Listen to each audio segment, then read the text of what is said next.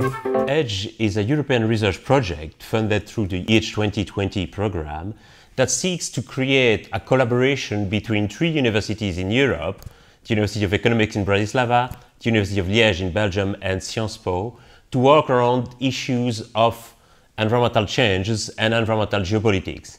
And in particular, we organize summer schools, we organize uh, academic conferences and workshops, and also student and staff exchanges with the idea of creating a real European space of research around these issues of environmental geopolitics. I've been doing uh, my two first years of undergrad in Reims, which is the Euro-American program. And uh, I will be joining EDGE uh, in the context of my third year, which is always abroad in Sciences Po. My interest in the program was for the field, uh, geopolitics, environmental diplomacy.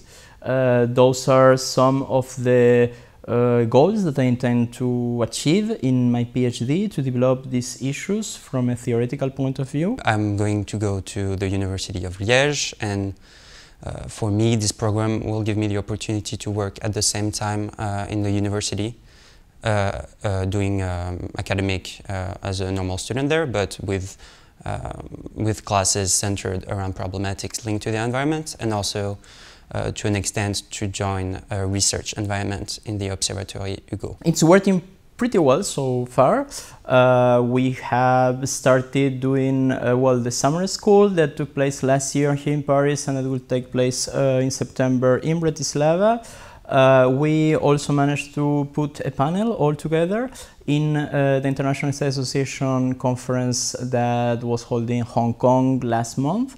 So we were uh, researchers from these three universities there. I can't really give you a definite answer right now, but what I would like to do are environmental studies linked to uh, social sciences. So uh, environmental sociology would be one of them, environmental geopolitics, um, uh, political sciences degrees sometimes have concentrations in, uh, env in environmental studies. So there is quite a lot of, of uh, variations and different paths you can take. University of Liège, um, for example, they have a very strong uh, framework on geography. I think that's important.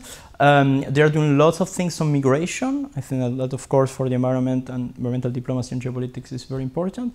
Sciences Po, of course, uh, it's a leading university in environmental issues uh, with the masters that we all know, and of course, Laurence Tubiana, François Gemenne, um, and University of Economics in Bratislava um, for example, now the uh, head of the Department of Environmental Staff in, in this university is the contact for all climate change issues related to um, the European Commission. So it means that they are really um, doing uh, lots of work on that, and in this regard, it, this university I think is very complementary.